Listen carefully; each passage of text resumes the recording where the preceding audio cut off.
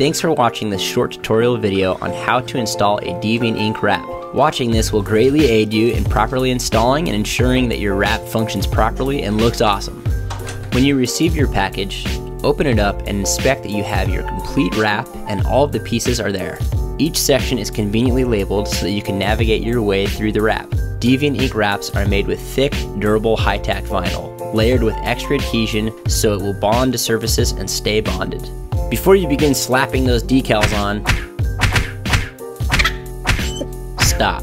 Let's make sure you have the proper tools for installation. We recommend you have the following. Alcohol, not that alcohol, this alcohol.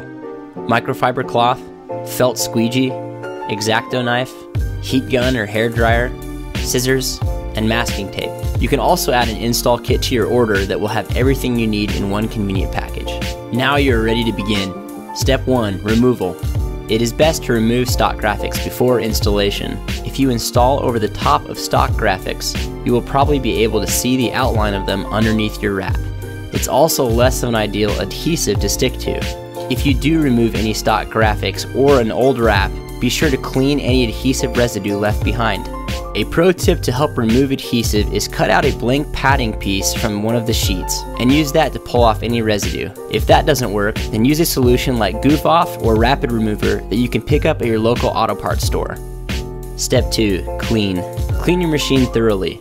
Start with soap and water, let dry, then clean with rubbing alcohol and a microfiber cloth. The goal here is to remove any contaminants that might jeopardize your wrap down the road.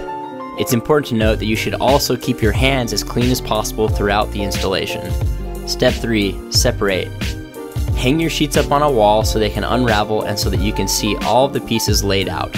Each wrap comes with a printed install guide that includes a print layout along with a decal placement visual. Using these visuals will be very helpful installing your wrap, so be sure to refer to it often. It's best to start with a section that will have smaller decals.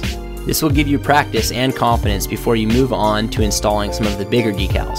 Once you've picked your section, with scissors, cut each decal piece out separately from the sheet, trimming the paper backing as close to the decal edge as possible for ease of visual placement and installation.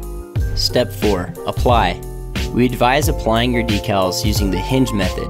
Some of the decals are small enough not to need this method, but for the larger decals, this method is imperative. Try practicing this method with a smaller decal first to get the hang of it. First, position the decal and tape at the center. This is your hinge. Using the tape as a center hinge, pull one side of the decal back over itself and peel the paper backing away. Cleanly cut the paper backing close to the hinge point. Now, bring the adhesive back portion into place, hovering over the plastic but not yet touching it. Now take the clean squeegee or your fingers and firmly apply pressure starting from the center hinge with up and down side to side strokes till that half of the decal is installed. Now remove the hinge tape and repeat these steps for the second half.